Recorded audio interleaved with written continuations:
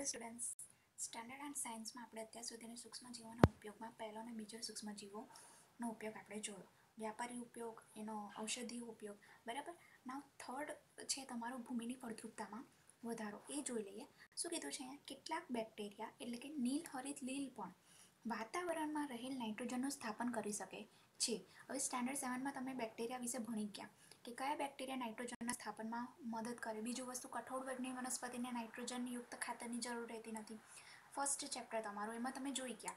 તો શું હોય, એમાં રાઇઝોબિયમ નામના બેક્ટેરિયા શું કરશે? વાતાવરણમાંનો નાઇટ્રોજન વાયુ લેશે, એને નાઇટ્રોજનના સંયોજનમાં ફેરવશે. બરાબર? પછી વનસ્પતિ એને, એ નાઇટ્રોજનના સંયોજનના સ્વરૂપમાં નાઇટ્રોજન વાયુ લે છે.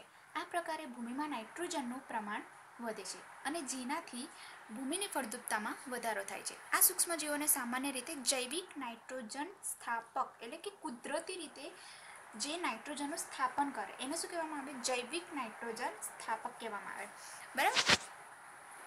અહીંયા જુઓ. એક તો રાઇઝોબિયમ નામનો બેક્ટેરિયા થશે, બરાબર? અહીંયા નીચે લખ્યું છે કે નાઇટ્રોજન સ્થાપક સાઇનો બેક્ટેરિયા રાઇઝોબિયમ પણ છે, અને બીજી નીલ હરિત લીલ, આ બંને નાઇટ્રોજનનું સ્થાપન કરશે. અને ભૂમિની ફળદ્રુપતામાં વધારો કરે. એ થર્ડ ઉપયોગ તમારો થયો. એનો ફોર્થ ઉપયોગ હવે આપણે જોઈએ. શું કીધું છે? પર્યાવરણનું શુદ્ધિકરણ. બરાબર? અહીંયા જુઓ. શું કીધું છે કે સ્કૂલમાં માંડીને કુદરતી ખાતર તમે બનાવતા જોઈને પહેલી અને બુજોએ તેમના મિત્રો સાથે ઘરમાંથી, બગીચામાંથી પર્ણો તેમજ ફળ, શાકભાજીનો કચરો એકત્ર કરીને તેને નિકાલ માટે બનાવવામાં આવેલ એક ખાડામાં નાખ્યો. હવે આપણને ખબર પણ છે કે કુદરતી ખાતર કેવી રીતે બને? તો જે વનસ્પતિનો ગંદો જે વનસ્પતિનો કચરો છે, પછી મનુષ્યના મળમૂત્ર છે, પ્રાણીઓના છે, બરાબર? એ જે નક્કામાં પદાર્થો હોય એને આપણે શું કરીએ? ખાડો ખોદીને જમીનમાં દાટી દઈએ અને થોડા સમય પછી આપણે એને જોઈશું તો શું કુદરતી ખાતરમાં એ પરિવર્તિત થશે. બરાબર? અહીંયા કેટલાક સમય પછી તેનું વિઘટન થઈને કુદરતી ખાતરમાં રૂપાંતરિત થાય છે અને કેવી રીતે રૂપાંતરિત થાય છે? તો જમીનમાં સૂક્ષ્મ જીવો આવેલા હોય છે તમને ખ્યાલ છે. હવે પહેલી અને બુજો જાણવા માંગે છે કે આ કેવી રીતે થયું? તો એના માટે એક પ્રવૃત્તિ આપેલી છે, જુઓ.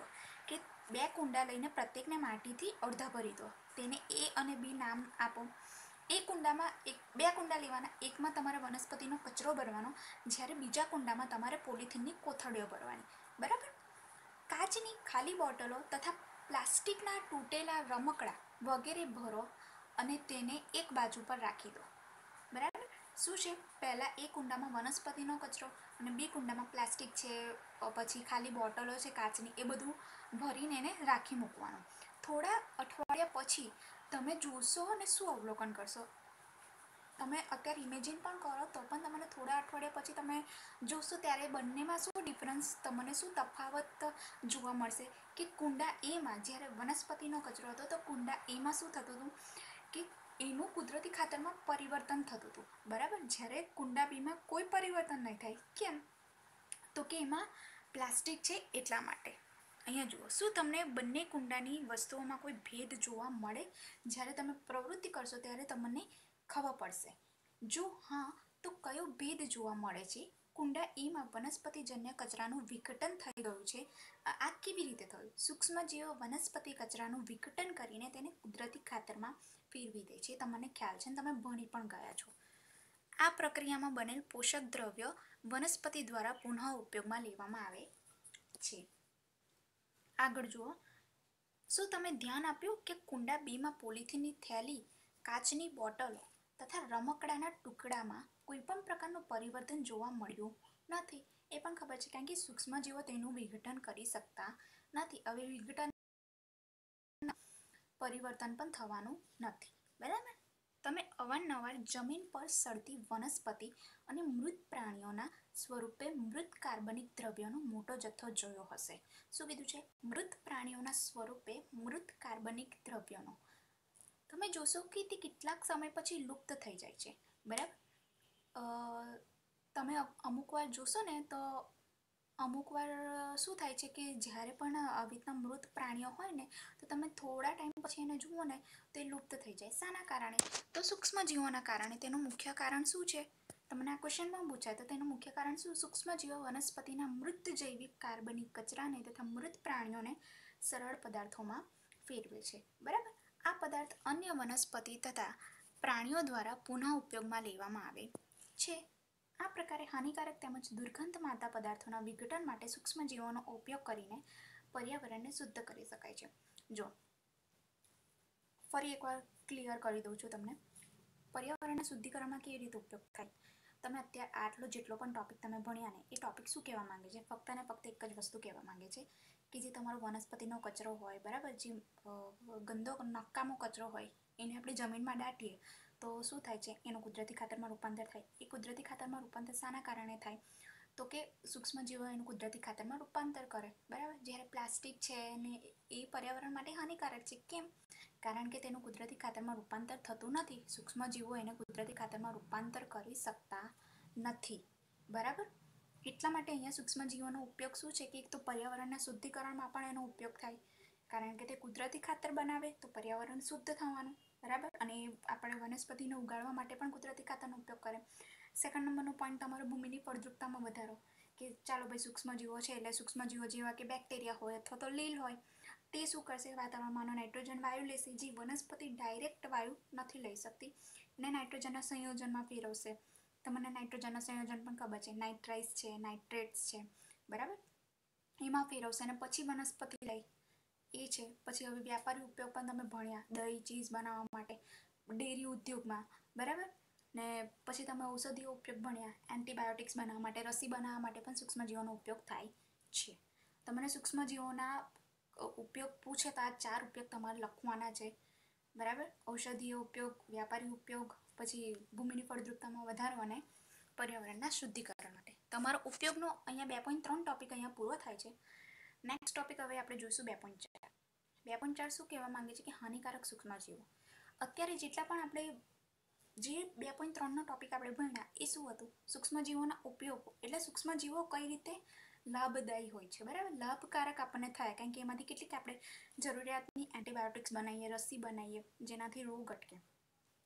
પર્યાવરણનું શુદ્ધિકરણ થાય. ભૂમિની ફળદ્રુપતામાં વધારો થાય. વ્યાપારી ધોરણે ઉપયોગ એટલે ડેરી ઉદ્યોગમાં, બરાબર? ખાસી બધી વસ્તુઓ આપણે બનાવી શકીએ છીએ. એનો શું થયો? લાભ થયો, ઉપયોગ થયો. હવે એનાથી જે આપણને નુકસાન થાય છે તે જોઈ લઈએ. તો હાનિકારક સૂક્ષ્મજીવો. સૂક્ષ્મજીવો અનેક રીતે હાનિકારક છે. કેટલાક સૂક્ષ્મજીવો મનુષ્ય, પ્રાણીઓ તેમજ વનસ્પતિઓમાં રોગ ઉત્પન્ન કરે છે. રોગ ઉત્પન્ન કરતા આવા સૂક્ષ્મજીવોને શું કહેવામાં આવે છે? રોગકારક સૂક્ષ્મ જીવો સિમ્પલ છે. શું છે? રોગ ઉત્પન્ન કરતા સૂક્ષ્મજીવોને શું કહેવામાં આવે? રોગકારક સૂક્ષ્મજીવો. કેટલાક સૂક્ષ્મજીવો ખોરાક, કપડાં તેમજ ચામડાની વસ્તુઓને શું કરે છે? બગાડે છે. બરાબર?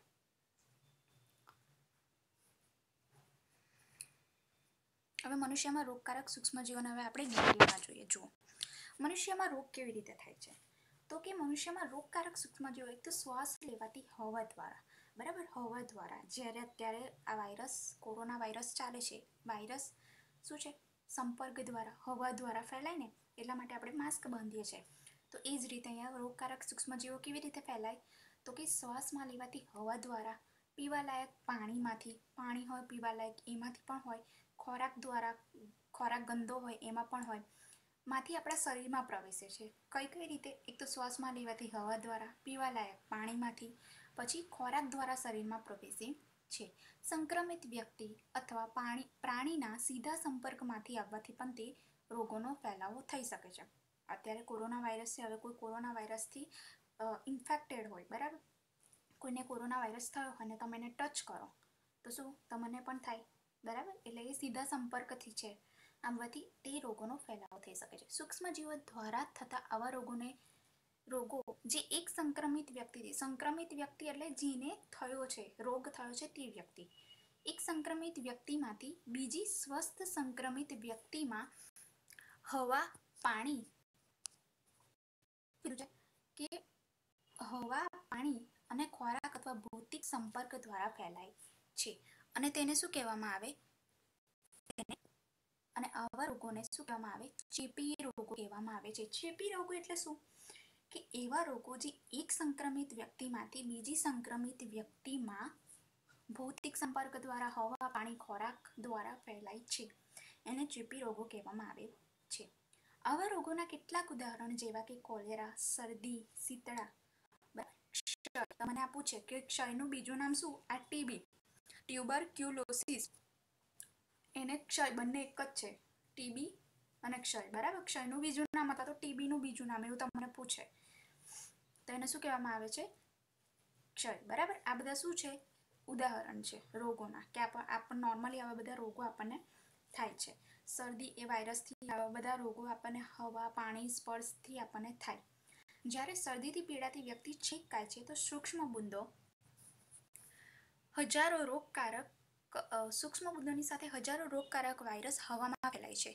આ વાયરસ શ્વાસ દ્વારા લેવામાં આવતી હવા દ્વારા શરીરમાં પ્રવેશે અને ચેપ ફેલાવે છે. બરાબર, કોઈને શરદી થઈ હોય અને તમે એની સાથે હો તો એના એના વાયરસથી આપણને પણ રોગ થાય છે. તમે, ત્યારે તમે ચેપી રોગોના ફેલાવો કેવી રીતે અટકાવી શકો છો? તો સિમ્પલ અહીંયા વસ્તુ છે કે આપણે જ્યારે છીંકાતા હોઈએ ત્યારે મુખ નાક પર રૂમાલ રાખવો જોઈએ તો નોર્મલી વસ્તુ આપણને અત્યારે પણ આપણે કરીએ છીએ. બરાબર? અને શક્ય હોય તો સંક્રમિત વ્યક્તિથી પર્યાપ્ત અંતર રાખવું જોઈએ. જે અત્યારે સોશિયલ ડિસ્ટન્સિંગ કહે છે તે. બરાબર? ચાલો હવે આગળ શું કહેવા માંગે છે? કે કેટલાક કીટકો તથા પ્રાણીઓ એવા પણ છે કે જે રોગકારક સૂક્ષ્મ જીવોના વાહક તરીકેનું કાર્ય કરે. વાહક તરીકેનું કાર્ય કરે એટલે જેનાથી આપણને રોગ થાય. ધારો કે કોઈ બીજી જગ્યાએ સૂક્ષ્મ જીવો જાય અને ત્યાંથી કોઈ પણ એમના શરીર ઉપર ગંદો કચરો ને એ બધું લઈને આવે ને આપણા ખોરાક ઉપર બેસી જાય. તો શું થાય? રોગ થાય એટલે વાહક તરીકેનું કાર્ય કરે. કેવી રીતે જોઈ લે એમાં પહેલું ઉદાહરણ છે ઘર માખી. તેનું એક ઉદાહરણ છે. માખી કચરાને પ્રાણીના મળ ઉપર બેસે છે. તમને ખ્યાલ જ છે માખી. રોગકારક સૂક્ષ્મ જીવો તેના શરીર ઉપર શું થાય? ચોંટી જાય છે. કારણ કે તે કચરા ઉપર બેસે. હવે બેસે એટલે શું થાય? ચોંટી જાય. બરાબર? જ્યારે માખી ઢાંક્યા વગરના ખોરાક ઉપર બેસે ત્યારે આવા સૂક્ષ્મ જીવોનું શું થાય છે? સ્થળાંતર થાય છે. એટલે શું? હવે એ પહેલાં કચરા ઉપર બેઠી અને તરત ને તરત એ કચરામાંથી આપણા ખોરાક, જે ખોરાક આપણો ખુલ્લો છે, એ ખુલ્લા ખોરાક ઉપર આવીને બેસી ગઈ હવે ખુલ્લા ખોરાક ઉપર આવીને બેસી જશે તો શું થશે? એના શરીર ઉપર જેટલા પણ સૂક્ષ્મ જીવો ચોંટેલા છે, એ શું થશે? ખોરાક પર જતા રહેશે. બરાબર? એટલે સ્થળાંતર સંભવ છે, અહીંયા કીધું છે. જે પણ વ્યક્તિ આવા પ્રદૂષિત ખોરાકને ખાય છે તેની બીમાર પડવાની અહીંયા શું થાય છે? સંભાવના વધી જાય છે. એટલી સલાહ આપવામાં આવે છે કે ખોરાકને અહીંયા હંમેશા જોઈએ. આ ક્વેશ્ચન તમને કારણ આપવામાં પૂછે. ખોરાકને હંમેશા કેમ ઢાંકેલો હોવો જોઈએ? તમે આ લખી શકો છો. કારણ કે પહેલાં પહેલી વસ્તુ તો માખી શું કરે કે સૂક્ષ્મ જીવોના વાહક તરીકેનું કાર્ય કરે છે. હવે એમાં માખી જ્યારે કોઈ પણ ગંદા કચરા ઉપર બેસે છે, ત્યારે તેના શરીર ઉપર કેટલાક હાનિકારક સૂક્ષ્મ જીવો ચોંટી જાય છે, બરાબર? અને એ જ્યારે ખુલ્લા ખોરાક ઉપર જઈને બેસે છે માખી, ત્યારે શું થાય છે કે જે એના શરીર ઉપર ચોંટેલા જે ગંદો કચરો છે, સૂક્ષ્મ જીવો છે ખોરાકમાં ભળી જાય છે અને એ ખોરાક આપણે જ્યારે ખાઈએ, ત્યારે શું થાય, આપણને રોગ થાય છે, એટલા માટે અહીંયા રોગોથી બચવા માટે ખોરાકને હંમેશા ઢાંકેલો રાખવો જોઈએ. ઢાંક્યા વગરના ખોરાકને ટાળ ખાવાનું ટાળવું જોઈએ. હવે આ તો પહેલું, બરાબર? માખી, હવે છે સેકન્ડ નંબરનું કે જે તમને ડેન્ગ્યુ અને તમને મલેરિયા, બે રોગ થાય. શાના કારણે રોગ થાય એ જોઈએ. માદા એનોફિલિસ મચ્છર. આ નામ યાદ રાખજો. આ તમને પૂછાશે. માદા એનોફિલિસ મચ્છર. તેનું અન્ય ઉદાહરણ છે. વાહક તરીકે કાર્ય કરે ત્રણ આવે છે. એમાંથી પહેલું આપણે જોયું.